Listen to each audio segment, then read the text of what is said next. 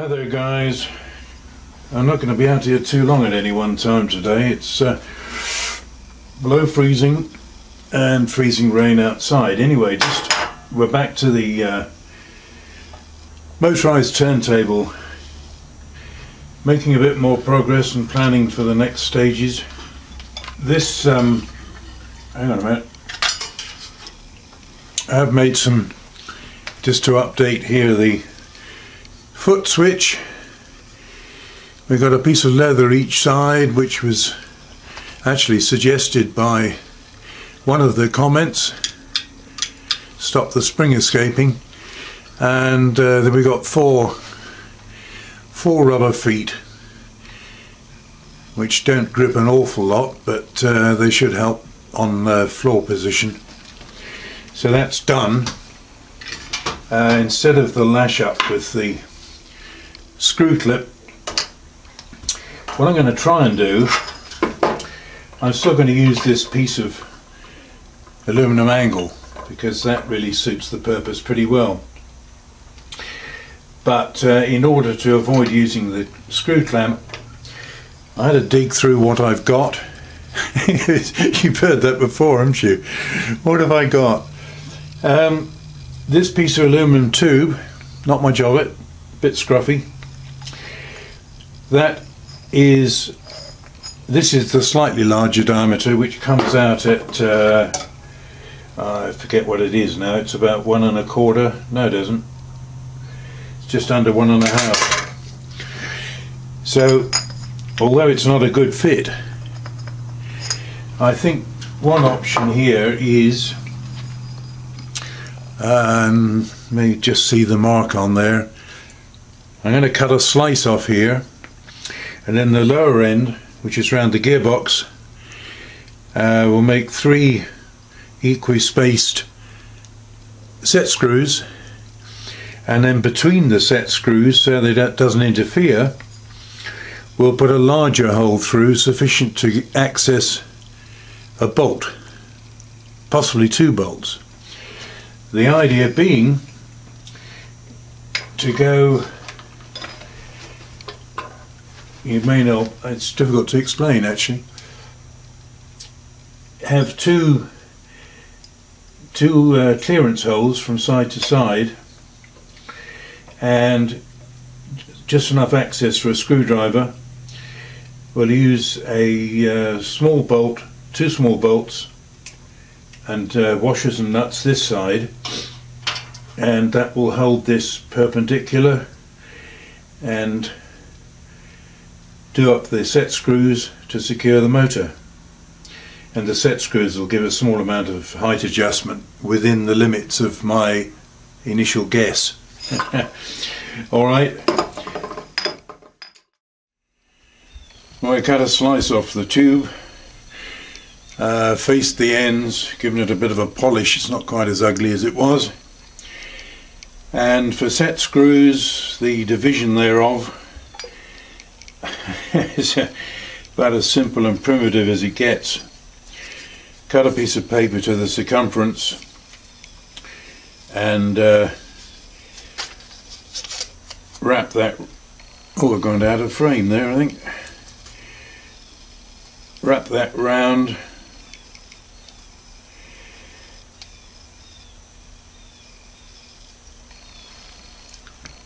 So all I've got here is this strip of paper divided into three and marked up. So we'll transfer that to the uh, tube and we can then we can drill and tap for uh, some set screws not cone points. They'll be uh, what I might call cup ended so they don't damage the motor. Okay we've made some progress here.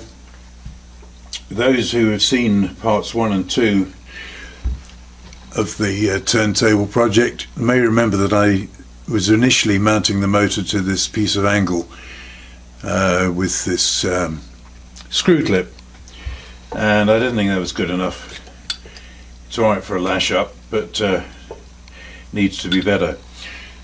So the piece of tube that I've described and I marked up into thirds that was to get uh, one, two, three, uh, five by point eight set screws, and the motor is actually a loose fit. See, it's loose, but the uh, set screws will lock up on the gearbox. Now, the other holes, which may seem a bit strange, these humongous holes here I had to make to access underneath here to make some countersinks and it was a hell of a stretch. I could barely reach. And I had to do all sorts of bits of cheating. So what we've done now is to take the uh, angle which has been drilled and tapped. It actually didn't need to be tapped at all when I think about it but I did. So I'm going to start putting this together and I'll show you you know what we've got in mind I meant to mention the uh, screws I'm using are 6x1 metric. I've actually machined both of them down a bit on the head. I've got enough Phillips left to be usable, but I've had to do every trick in the book to try and get these countersunk sufficiently inside the tube. Well, there's the tube mounted to the angle, and you might be able to see those screws are just about countersunk enough. I've actually had to run a file over the top just to clear a few thou to get it right. Once they're there, they're not going to move anymore. And uh, I don't even bother to cut them off. I'm going to put a couple of nuts on the back. I did file uh, a slight flat on this side of the tube. It's very minimal just enough to seat better. And uh, so I put the nuts on which we don't really need. So now we'll put the motor in which is a fairly fairly fiddly job. And got to get the height just about right. I've got a mark somewhere which I've used as a reference. Try and get the set screws down up equally not that it really matters all that much. Anyway roughly speaking we are we're more or less equispaced all the way around give or take. And the advantage of the set screws is there's a a bit of leeway for moving the motor up and down apart from pulley position. And the set screws are put on this lower part because they're bearing on the gearbox which is definitely stronger than the top section of the motor. Right, well I really must trim this uh, corner sometime. Get rid, I've got a sharp edge here. Um, so there it is in position, the motor. And that position there is, shall we say, the um, setup for the to get the belt on. Uh, so you can see we, with adjustment, small adjustment of the pulley position on the shaft and the motor in this casing, uh, we can get pretty well spot on for the belt. So I come back to get the belt on.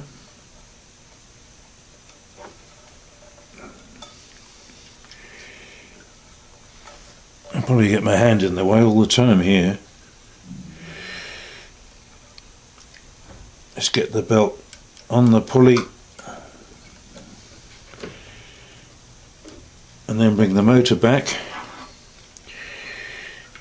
And get some tension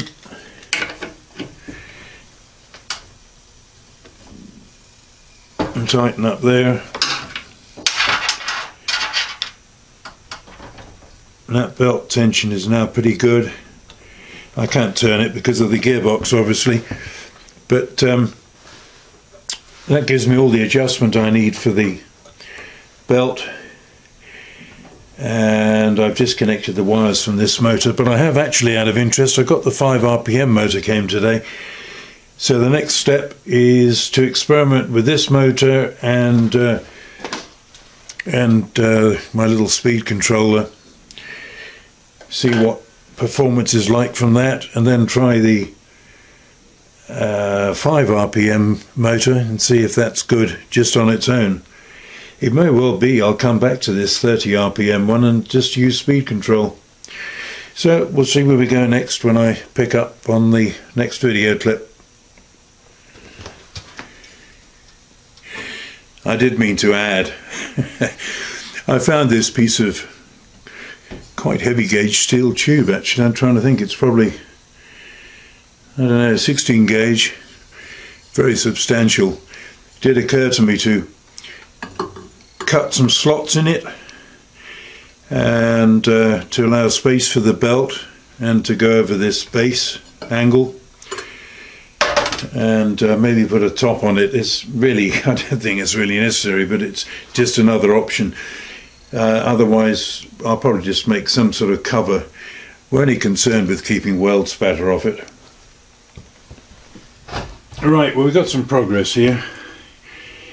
Um, getting close to completion. I might well just finish this off in another video and uh, the uh, cover type of system that I need here. That's probably not going to happen in a hurry. The chances are I can put something dis um, something that's dispensable shall we say over the top even if it's a damp plastic cup. Um, but we'll have a cover of some sort eventually. And there's still the aspect of uh, grounding. I've yet got to work that out but for the most part I should be probably working on low current stuff and uh, chances are if I work out some overhead support for the ground clip to the workpiece we'll manage.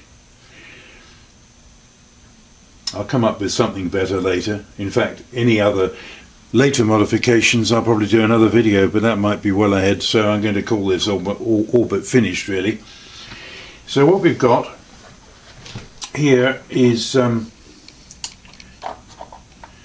this little plastic box. It's actually an old Agfa film box from back in the year dot. It is adequate for holding what I want. I'll show you inside it in a minute because there's not much in there. And with the potentiometer off and the foot switch operated, nothing happens. Turn that up to full and we get what I used to get on the uh, test situation.